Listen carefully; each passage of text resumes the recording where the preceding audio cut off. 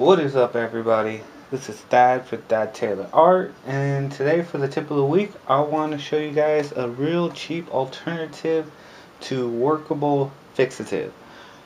Well let me first explain what workable fixative is. Workable fixative is what you the coating of a spray that uh, goes over pencil or charcoal graphite drawings so you don't smudge them later on like if you want to either work on top of that and add more graphite or charcoal on top of that without smudging the existing layer.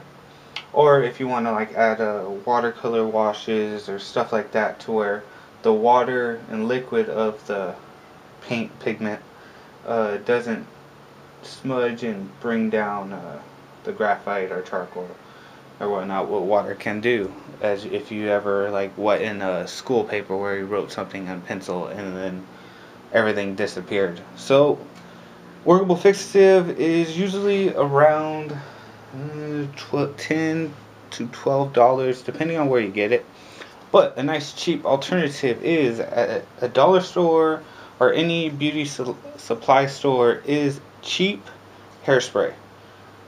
Uh you want the hairspray without the fragrance fragrance in it because that can ruin the the paper and artwork that you're working on. But if it's uh, has a strong hold and no fragrance, it'll work perfectly.